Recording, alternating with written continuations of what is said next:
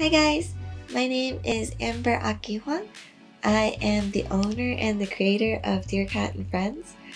Um, I am also a professional character designer and toy designer in the industry.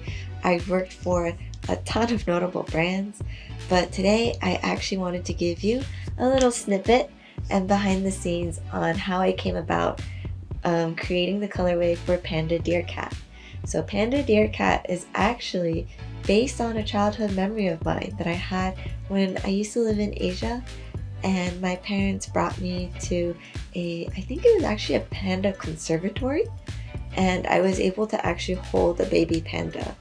Uh, you had the mask up and everything because you needed to protect them from all the bad stuff, the germs, the diseases you might carry because they were vulnerable. But um, I took that as inspiration behind making this Panda exclusive for Kidrobot. It is actually limited edition and now available on the Kidrobot site. If you guys get a chance, please take a look. I'd really appreciate it. But I hope you guys have a great day.